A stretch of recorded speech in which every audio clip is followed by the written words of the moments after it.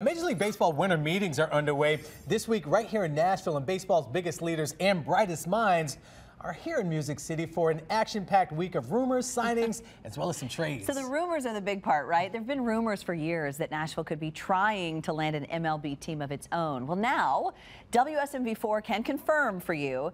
Mayor Freddie O'Connell met with Chicago White Sox owner Jerry Reinsdorf this week. The mayor's office tells us the meetings were, and I quote, introductory in hmm. nature.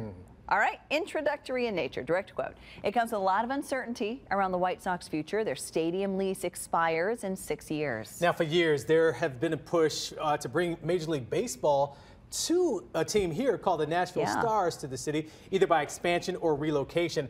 Last week, Mayor O'Connell said he hopes to meet with MLB Commissioner Rob Manfred while he's in town for winter meetings see about that, but it would it would be just in a um, you know the basis of introducing him to the city more so than hey come support the stars being a thing we're not we're not even close to that now, it's not clear how a hypothetical MLB team would get a stadium here in Nashville. You'll remember a major part of O'Connell's mayoral campaign was his opposition to the new Titan Stadium. He has consistently said any hypothetical MLB stadium should be privately funded. Well, tonight on